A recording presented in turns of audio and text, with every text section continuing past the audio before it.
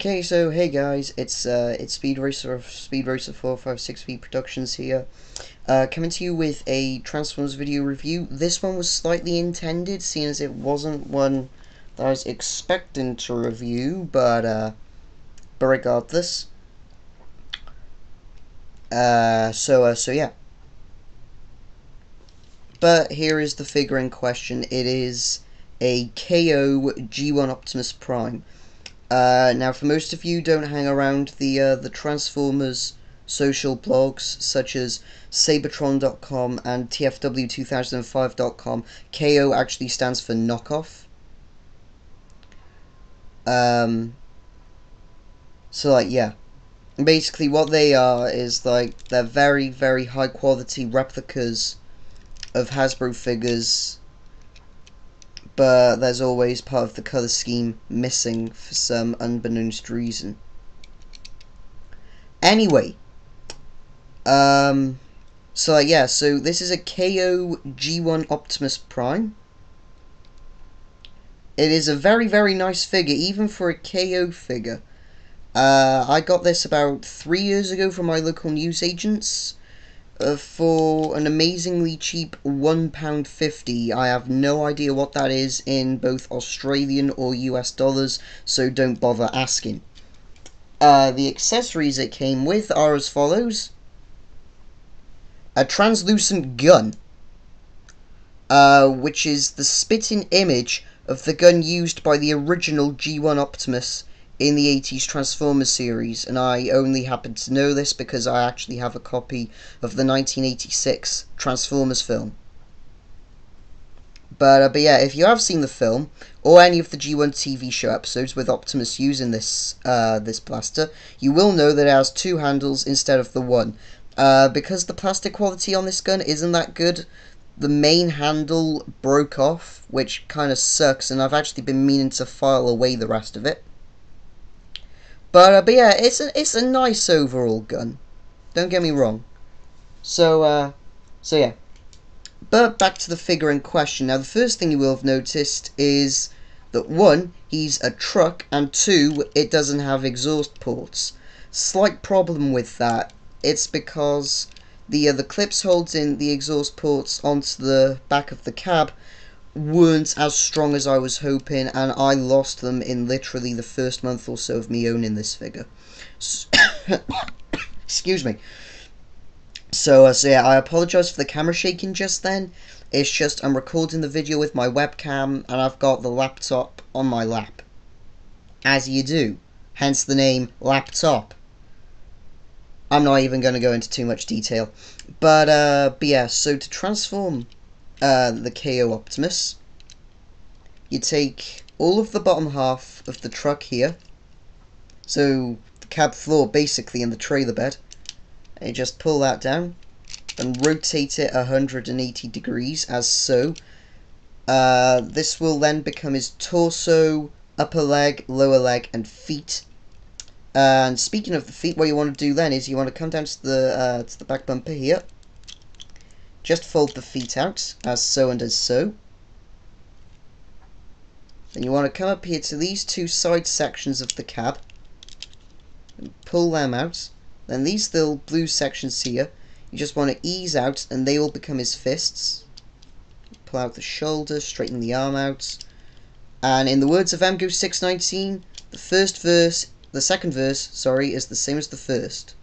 So you fold the arm out from the elbow downward, you pop the fist out, you rotate the arm out from the shoulder downward, and then you fold the arm down, as so.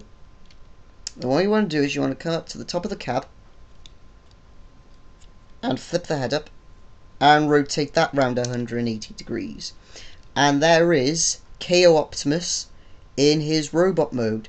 And I gotta say, even for a KO figure, I am absolutely shocked at how much detail there is on this G1 Optimus Prime. I mean, it's just, it is just a beautiful recreation of the figure.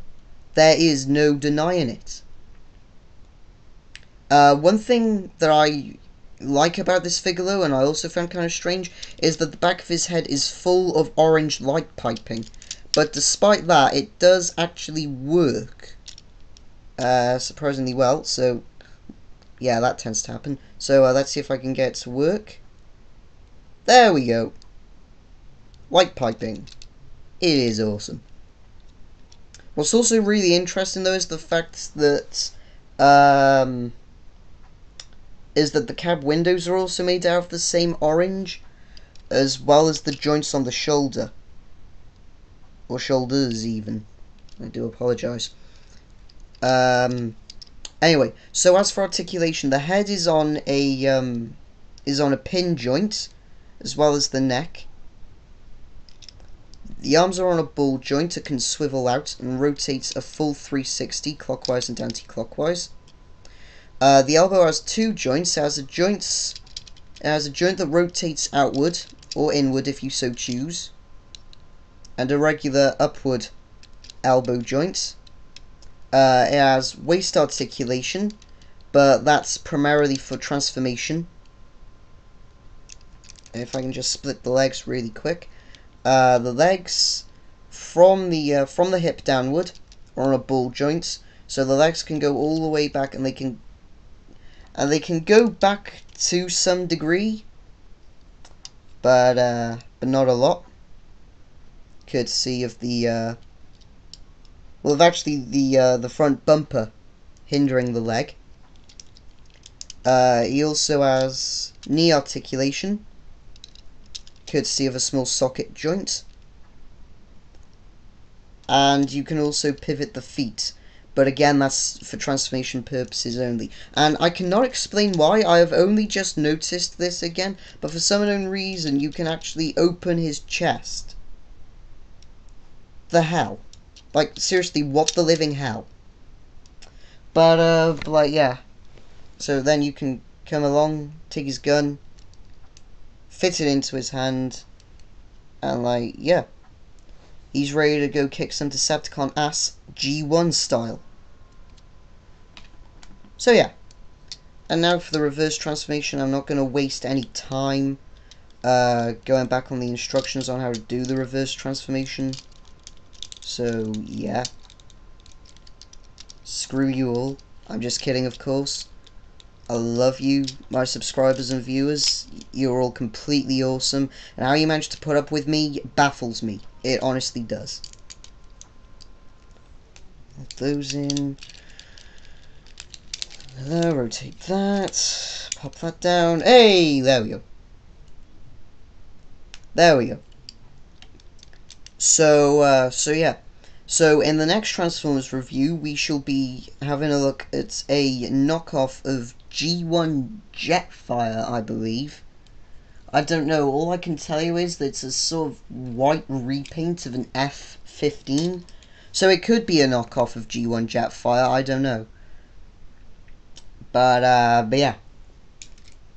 So, like, yeah, there he is. Uh, knockoff Optimus Prime. Would I recommend picking him up?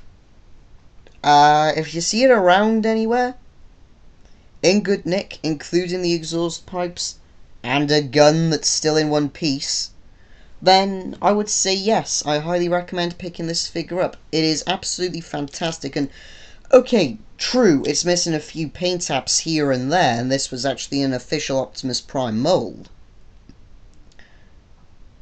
But like, yeah, knockoff G1 Optimus Prime. Thank you all for watching.